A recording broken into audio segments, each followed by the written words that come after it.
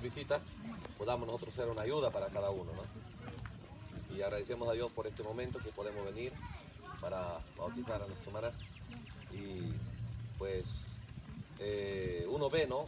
A veces, cómo es que cuando la palabra de Dios, cuando Dios mismo trabaja. Pues la persona está dispuesta a, romper cualquier idea religiosa que esté en uno, ¿no? Y a dar pasos en pos de la palabra de Dios y a veces vemos gente que pues uno por más que hace tanta ayuda no funciona. Entonces nos damos cuenta que es una obra sobrenatural. Es Dios visitando a cada ser humano en la tierra. Y es que vamos a orar para agradecer a Dios por este momento. Señor Jesucristo, agradecemos la oportunidad que hoy tenemos de poder, Señor, venir a ti para darte gracias por tu palabra, por este tiempo, el esfuerzo, el trabajo de muchos hermanos y todas las bendiciones que cada uno recibe, Señor. A eso sumas la atmósfera especial, Señor, de compañerismo y también ver eventos que está tomando lugar en corazones de creyentes determinados a tomar las verdades de tu palabra para actuar en obediencia, Señor, a ellas en esta tierra, en este tiempo. Eso es grandes bendiciones porque si alguien puede tomar una escritura y aplicarla a su vida, seguro que nosotros también podemos seguir tomando escrituras para llevarlas a nuestro corazón, para operar en ellas, Señor. Gracias porque ciertamente tenemos gran expectativa en que cada, cada uno de aquellos a los cuales tú les visitas, Señor, su meta y su objetivo será que tu palabra, Señor, sea vindicada, sea puesta en acción en sus propias vidas, Señor. Y eso simplemente es lo que tú recibes, porque no es persuasión, es que cada creyente responda correctamente a la obra que tú haces, de enseñar, ilustrar, traer entendimiento de tu palabra. Gente tomando su propia decisión. Por lo tanto, gracias por esta oportunidad. En el nombre de Jesucristo, Señor, con gran expectativa llevaremos eh, a cabo este acto de fe a bautizar en tu nombre nuestra hermana Carmen. Amén. Dios la bendiga.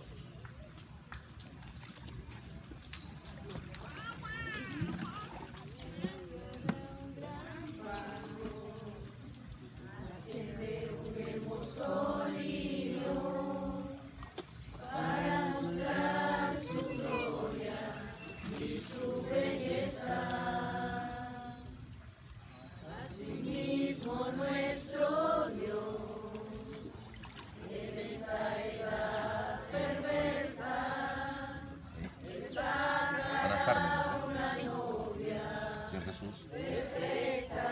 Gracias por esta oportunidad, Señor, poder venir de ti, ahora nuestra hermana Carmen, Señor. Eh, nos has permitido ver, Señor, cómo es que tu palabra ha empezado a abrirse paso en la vida de nuestra hermana. Tenemos expectativa en que la buena obra que has empezado con ella la perfecciones, Señor, y ves adelante. Y en su corazón se establezca una determinación de querer, Señor, ver tu obra, tu plan realizado de una manera completa, Señor. Por lo tanto, como Eliseo, que en su corazón nuestra hermana continúe en pos de ti, Señor, en cada una de las fases de este proceso hacia la vida eterna, hacia el mundo de tu Espíritu, Señor. Gracias por ello. En el nombre de Jesucristo, tomaremos, Señor, este privilegio que nos concedes de participar en este acto de fe y de bautizar a nuestra hermana en tu nombre, Señor Jesucristo. Amén. Hermana Carmen, yo lo bautizo en el nombre del Señor Jesucristo.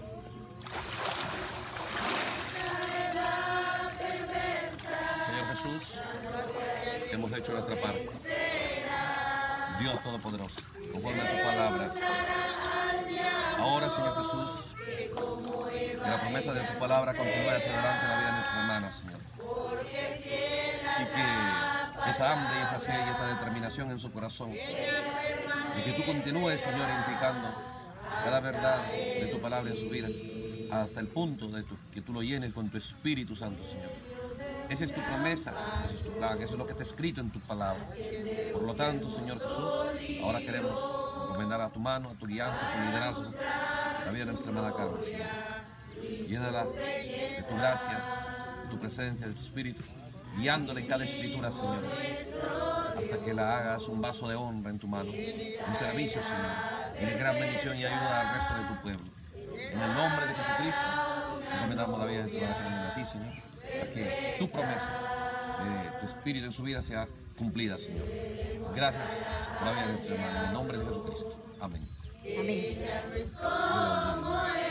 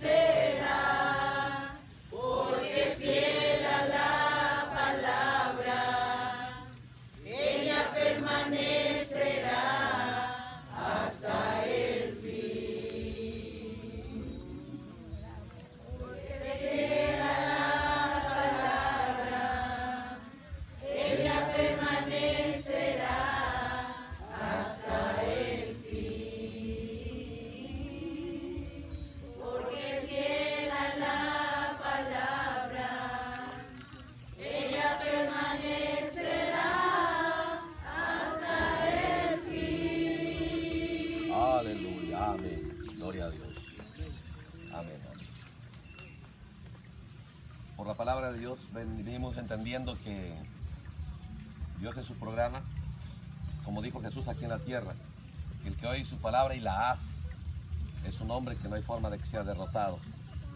Es uno que edifica su casa sobre la roca, ¿no?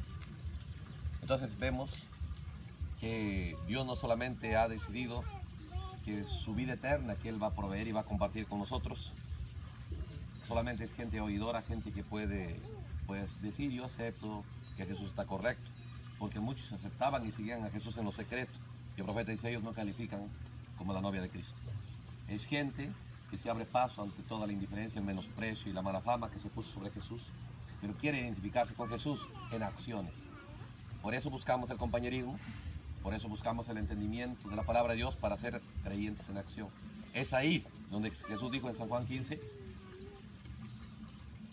el que realmente está dispuesto a actuar, ¿no? Jesús dijo, eh, si es que alguien está dispuesto a llevar fruto, dijo, mi Padre lo limpiará para que lleve más fruto.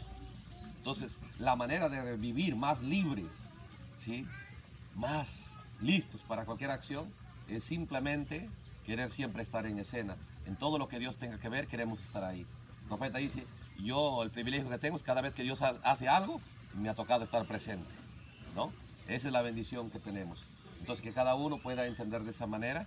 Entonces Dios moviéndose en un creyente aquí, otro allá, otro allá, no somos títeres, somos soldados de la fe, somos eh, no gente de iglesia, sino gente eh, que entiende, Dios me encontró con su palabra y quiero trabajar para que Dios cumpla su propósito de ser un testigo de Jesucristo.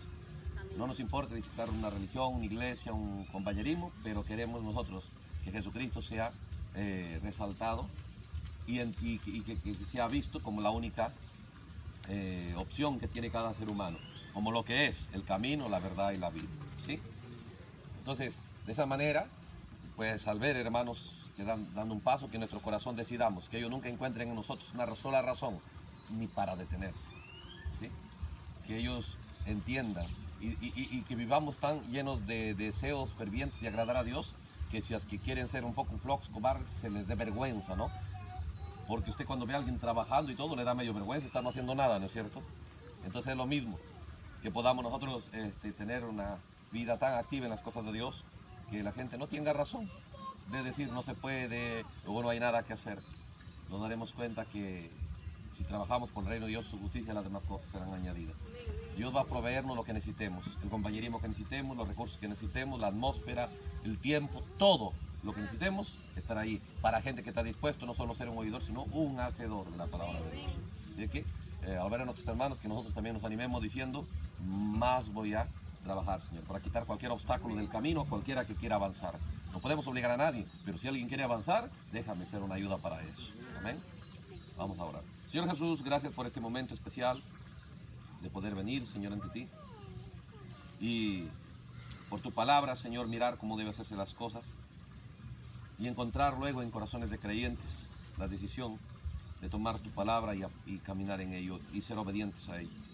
Que esa decisión continúe en cada corazón porque obediencia total da derecho al mundo de tu espíritu, al mundo del sello de Dios, al mundo de voz de arcángel.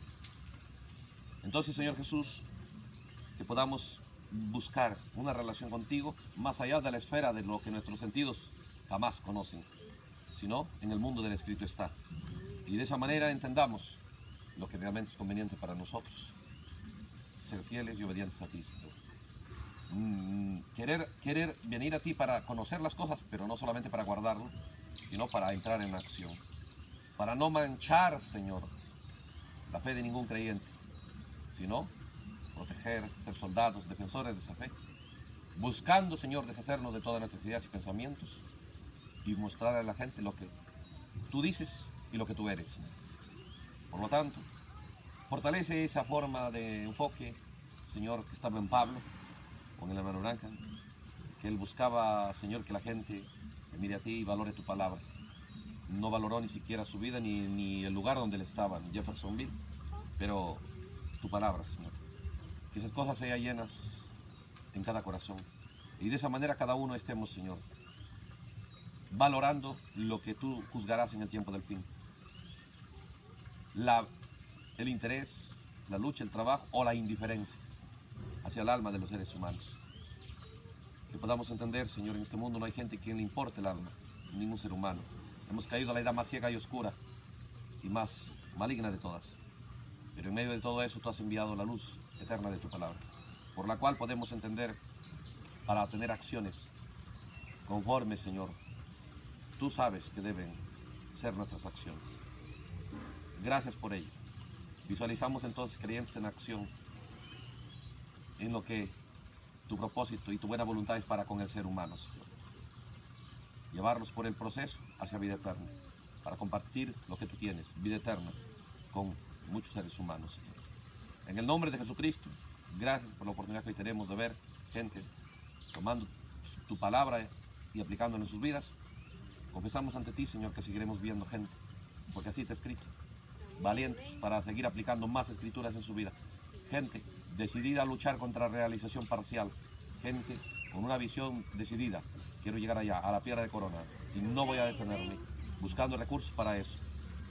Por lo tanto, gracias Señor por todo ello, en el nombre de Jesucristo. Amén. Dios lo bendiga, amados hermanos.